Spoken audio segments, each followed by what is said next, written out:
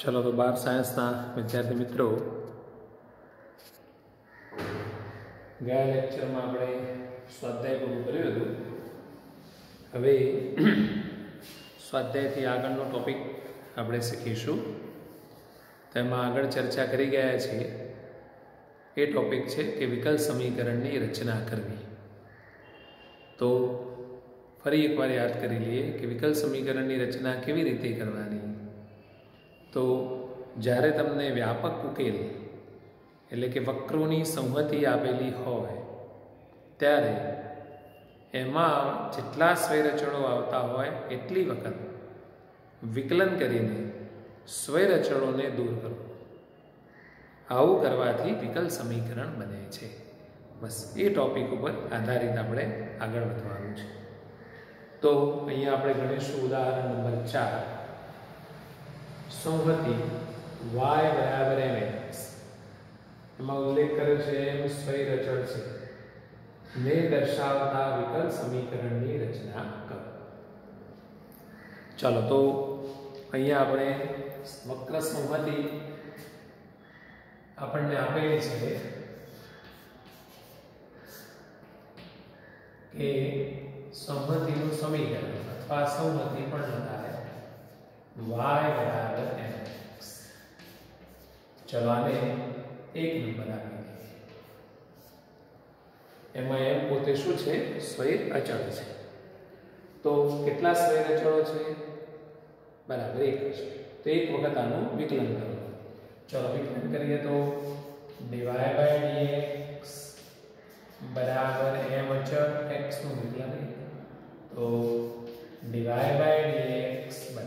m હવે હું શું આને વિકલ સમીકરણ કહી દઉં ના તો જેટલા સ્વયરચળો આવે એટલી વખત વિકલન કરવાથી કામ પૂરું નથી થતું એમાંથી સ્વયરચળ દૂર થવું જોઈએ તો જો અહીંયા સ્વયરચળ હજુ દૂર થતો તો બીજી વખત વિકલન કરવું ચાલે ના બીજી વખત અહીંયા વિકલન કરાય નહીં તો શું કરીએ તો એમ દૂર કરવા માટે આમાંથી m ની કિંમત અહીં મૂકી દઈએ શું થશે m ની કિંમત y upon x અહીંયા લખતા ભાવ છે ક્યાંથી લાવ્યા સમીકરણ એક પરથી આ તમારું વિકલ્પ સમીકરણ થઈ ગયું આવું લખીએ તો ચાલે x divided by dx is equals to તો જે માંગેલું વિકલ્પ સમીકરણ છે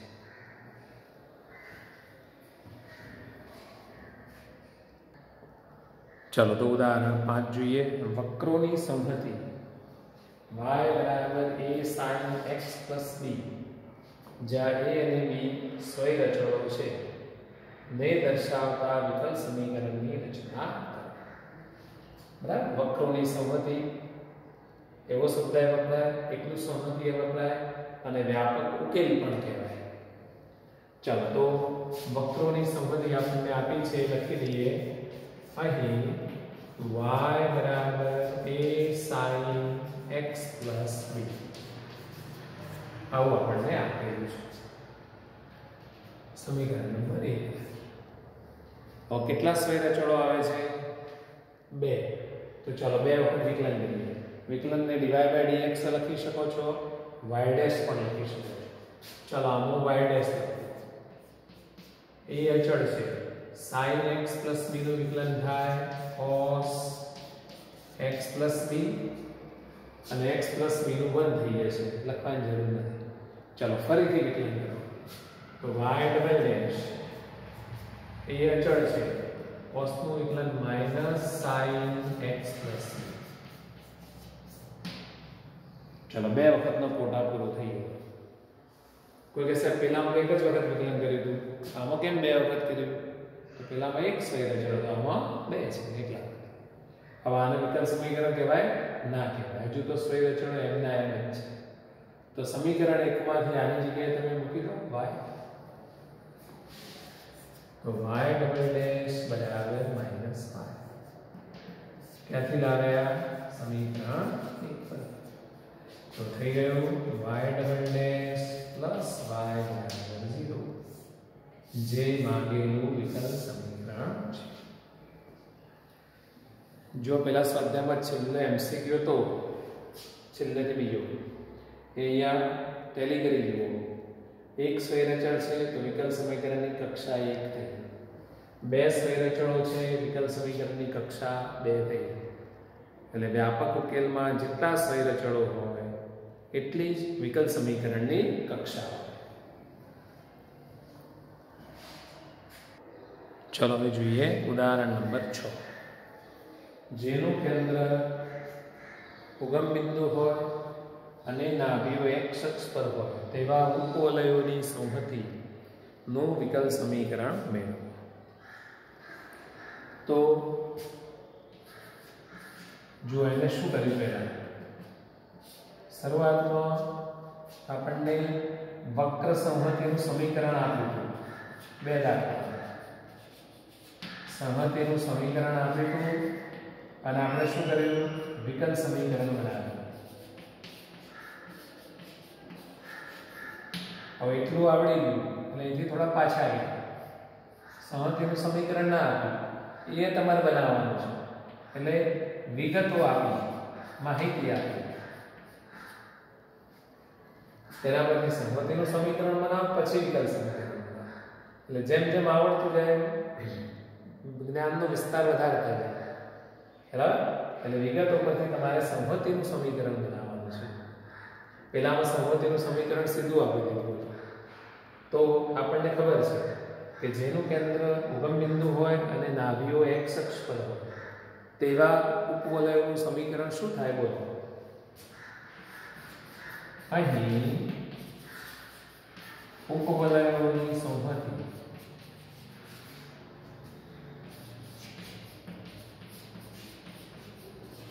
નું સમીકરણ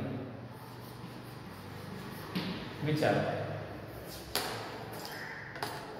તો કયા ઉપવલયો છે જો અહીં બાજુમાં ખાલી દર્શાવો આ પ્રકારના ઉપવલયો છે આ પ્રકારના આવા કેટલાય બધા ઉપવલયો એ બધા ઉપવલયોનું સમીકરણ કેવા પ્રકારનું હશે x square upon a square plus y square upon b square બરાબર એક પ્રકારનું કોઈ કે સાહેબ, સમીકરણ તો એક જ લખ્યું છે અને ઉપવલયો તો ઘણા બધા છે.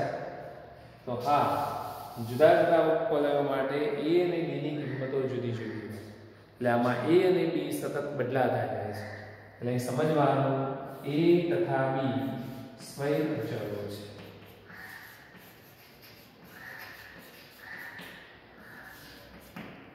ચાલો, તો બે સ્વય અચળો છે, બે વખત વિકલન કરીએ. અને સ્વય અચળોને દૂર કરીએ ચાલો તો પહેલી વખત વિકલન કરો x સ્ક્વેર નું 2ax નીચે સ્ક્વેર અચળ રહેશે y સ્ક્વેર નું 2y y upon b square બરાબર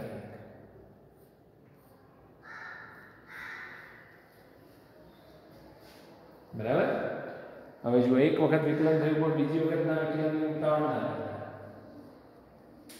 આપણે પહેલા થોડું સાદું રૂપ આવી પછી બીજી વખત વિકલન કરીશું તો દાખલો ઇઝી બનશે અહીંયા ઝીરો હશે એક તો ધ્યાન રાખજો આ દાખલામાં આને પહેલી વાર લઈએ two y y dash upon b square બરાબર minus two x upon s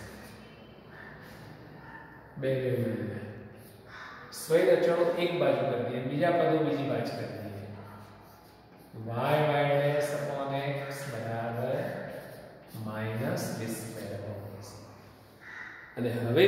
બીજી વાર વિકલન કરો ચાલો તો ફરીથી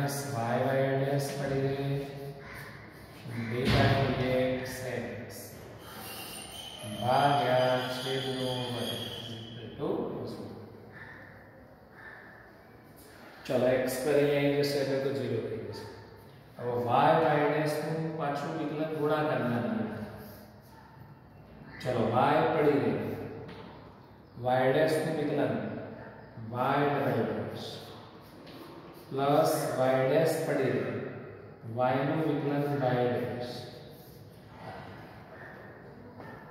minus y y dash into એક્સનું વિકલન એ બરાબર છે બસ આ જવાબ આવી ગયો થોડો પ્રયત્ન કરીએ સાદું રૂપ આપવાનો એક્સ કૌંસમાં y y dash double dash plus y dash નો square minus y y dash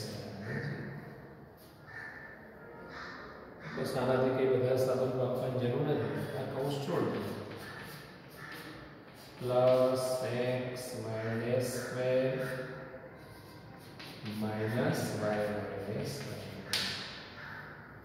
જે માગેલું વિકલ સમીકરણ છે.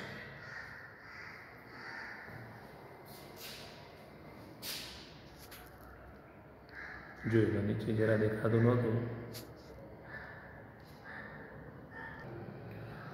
ઉદાહરણ સાત. એક્સ અક્ષને ઉગમ બિંદુ આગળ સ્પર્શતા હોય.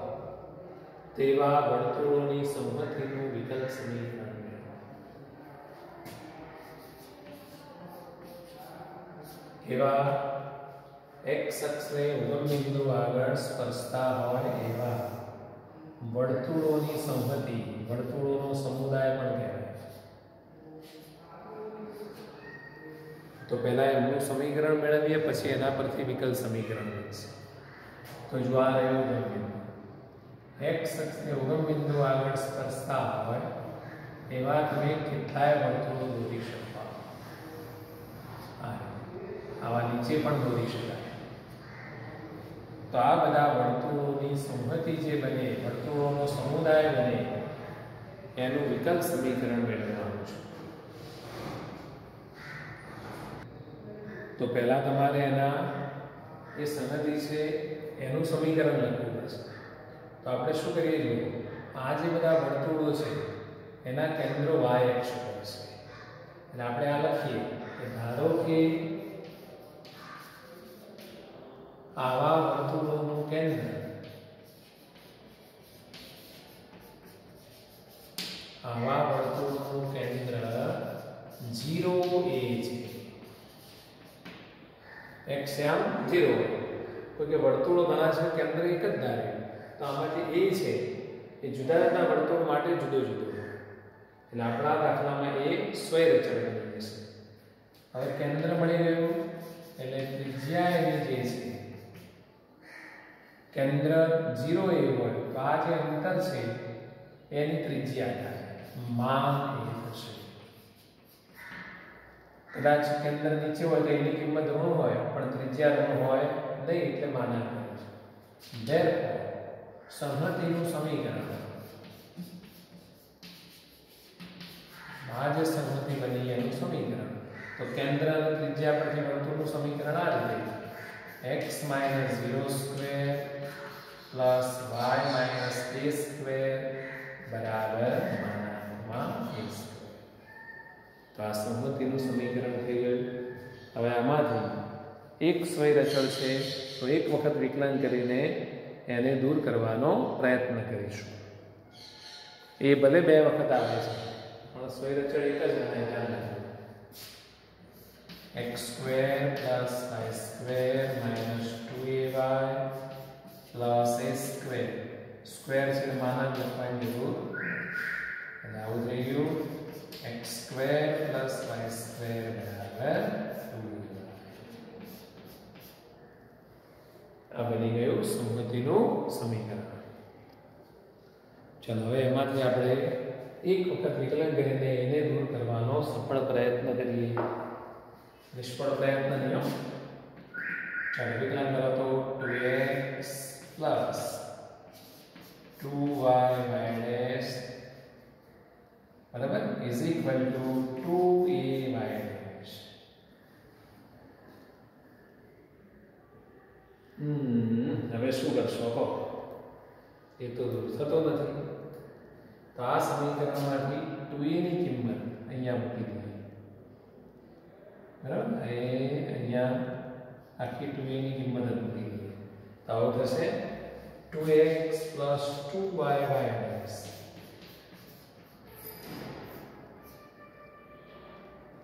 બરાબર x square plus y square upon y into y dash ચલો એ દૂર થઈ ગયો ક્યાંથી લાવે કિંમત સમીકરણ બસ હવે આનું થોડુંક સાદું રૂપ આપી દઈએ તો થોડું વ્યવસ્થિત દેખાય આવું થશે two x Y plus two y square y dash is equal to x square y dash plus y square જોઈએ પુસ્તકમાં કેવો જવાબ આપ્યો છે આમ તો આવો આવો બી ચાલે તો કોઈ જરૂર નથી કે એવું સ્વરૂપ લાવવું જ પડે હા એને વાયડેસના સૂત્રનો કરતા બનાવ્યો છે એને વાયડેસને સૂત્રનો કરતા બનાવ્યો છે चलो now we will bend two x y then another x square y dash y square y dash minus two y square y dash चलो हमारी बात बाकी दी जैसे x square y dash minus y square y dash y dash common करो x square minus y square ये बनेगा y dash then another જે માગેલું વિકલ સમીકરણ છે. ધ્યાન રાખજો પરીક્ષામાં આ એક્સ અક્ષને સ્પર્શ જેવા વાય અક્ષને સ્પર્શતા પણ પૂછી શકાય. તો એ વખતે તમારે આકૃતિ આ રીતે દોરવાની વર્તુળો આ રીતે દોરવાના અને એ જે બધા વર્તુળો છે, એમનું કેન્દ્ર તમારે લેવાનું એ જ અને જરૂરી ફેરફારો કરી અને દાખલો તમારે ગણવાનો છે. ચલો, હવે જોવું છે ઉદાહરણ નંબર આઠ. તેમાં છે જેનું શીર્ષ ઉગમ બિંદુ હોય અને અક્ષ, એક્સ અક્ષની ધન દિશા હોય, તેવા પર્વતોની સંહતિનું વિકલ સમીકરણ મેળવો. ચલો, તો અહીંયા પહેલા સંહતિનું સમીકરણ લખો. કે સંહતિનું સમીકરણ. આવડે છે?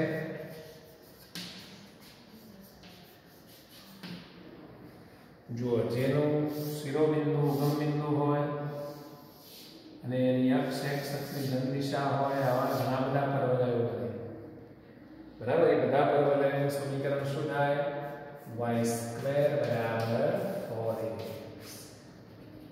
નંબર 1 હવે એમાં એ સ્વૈર અચળ છે તો એક સ્વૈર અચળ આવે છે તો એક વખત વિકલન કરીને એને દૂર કરવાનો પ્રયત્ન કરીએ ચલો તો 2y y ડેશ બરાબર અહીંયા થશે 4a into 1 એટલે 2y y ડેશ બરાબર 4a આ કિંમત અહીંયા મૂકી દો સીધી 4a ની જ કિંમત આપી તો સમીકરણ 1 માં આ કિંમત મૂકતા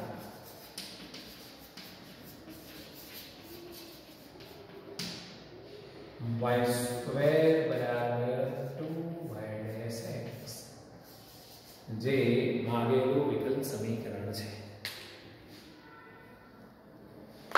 બરાબર પુસ્તકમાં dy બાય dx લખે છે y સ્ક્વેર બરાબર ફોર એક્સ કેમ પુસ્તકમાં જવાબ જુદો પડે છે?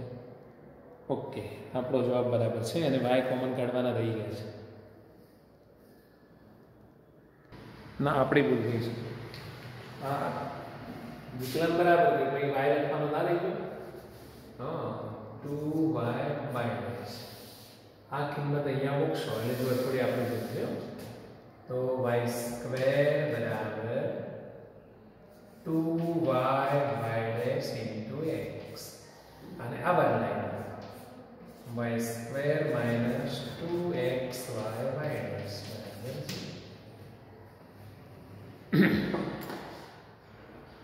y square minus 2xy minus બરાબર 0 બોલો, ખ્યાલ આવી ગયો? ઓકે, ચલો હવે આપણે જોવા જઈ રહ્યા છીએ સ્વાધ્યાય નવ પોઈન્ટ ત્રણ.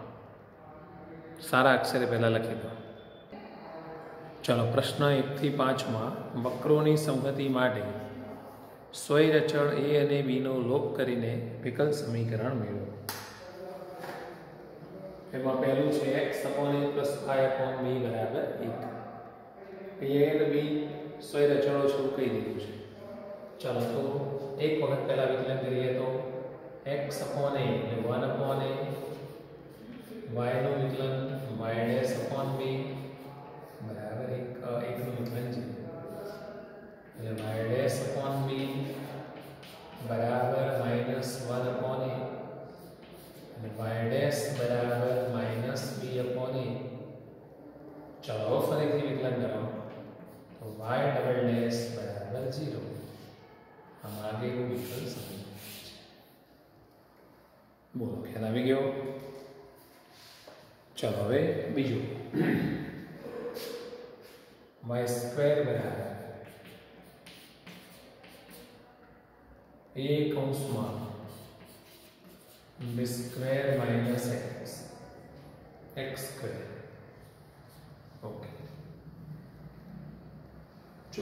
બે સ્વય રચણો છે તો બે વખત વિકલન કરવાનું કરીશું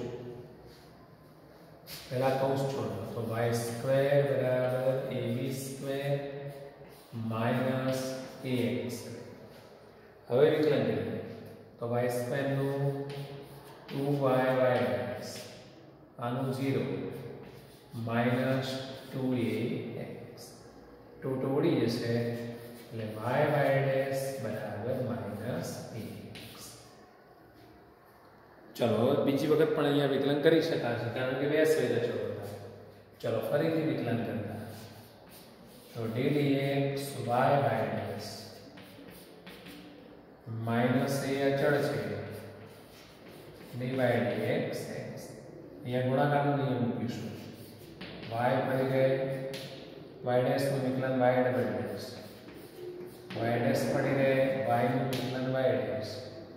બરાબર માઇનસ એ એક્સ નું વિકલન એક એટલે આવું થયું y y dash plus y dash square બરાબર માઇનસ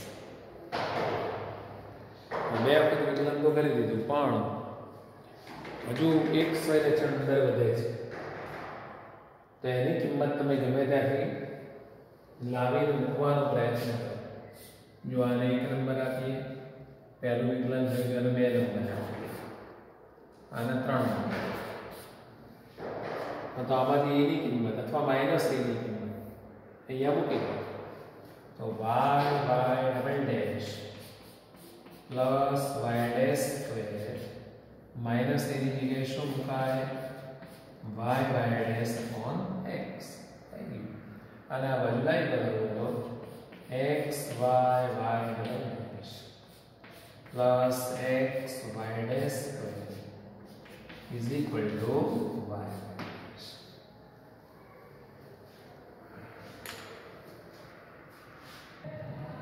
y જોઈ લો જવાબ બરાબર હા ઓકે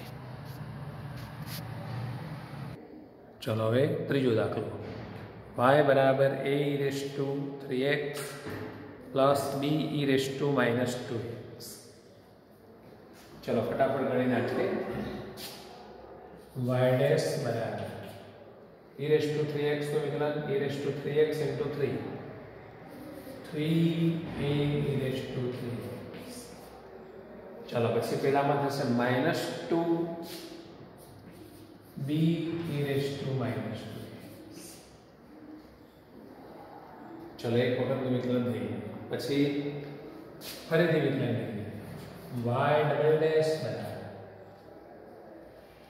તો 3 અચળ છે e raised to 3x નું વિકલન e raised to 3x into 3 એટલે 3 3 જા 9 9 એ e raised to 3x એવી રીતે પેલામાં થશે plus 4 b e raised to minus 2x તો જો આવી પરિસ્થિતિ થઈ પણ અહીંયા હજુ a અને b ખસવાનું નામ લેતા નથી ચલો, હવે આપણે પહેલાં બે જ્યાં સમીકરણમાંથી બીવાળા પદનો લોપ કરી દઈએ, જુઓ. બીવાળા પદનો લોપ કરી દઈએ, એટલે આ પ્રમાણેની પ્રક્રિયા કરીએ છીએ. ચલો, તો આ રીતે પ્રક્રિયા કરો. તો બી બીવાળું પદ છે એ ઉડી જશે. ચાલો, હું ઉડાડી દઉં છું. એટલે શું થવાનું, જુઓ. Two y plus y dash is equal to five a raise to three. બરાબર એટલે આમાંથી આવું રાખીએ two y plus y suppose five is equal to a e raise three x ચાલો આને નંબર આપી દો ચાર હવે આ બે સમીકરણમાંથી આવા પદ્ય સૂત્રનો કરતા બનાવીએ એટલે એમાંથી બી વાળા પદનો લોપ કરીએ આને બે વડે ગુણીને આમાં ઉમેરી દઈએ તો ચાલો નીચે લખી દઉં ચલો આવું થશે હવે શું થવાનું આ બે ઉડી જશે એટલે two y dash plus y double dash નવ ને છ પંદર a e raise to three પંદર નીચે લાવી દો two y dash plus y double dash upon પંદર બરાબર a e raise to three ચાલો આને નંબર પાંચ આપી દો તો સમીકરણ ચાર અને પાંચ સરખાઈ દઈએ આની જમણી બાજુ પેલાની જમણી બાજુ સરખી છે તો બંનેની ડાબી બાજુ પણ સરખી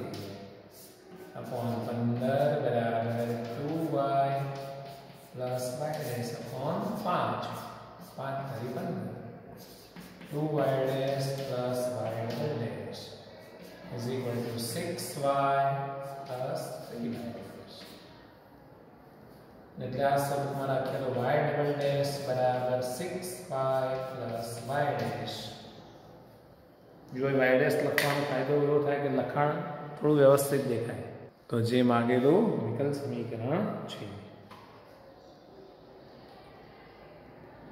ચલો હવે તમે ચોથો, પાંચમો, છઠ્ઠો, સાતમો અને આઠમો આટલા દાખલા તમે ગણી શકો એમ છો. ઉદાહરણ જોજો. મેં ગણાવ્યા છે એટલે. ચાર, પાંચ, છ, સાત અને આઠ.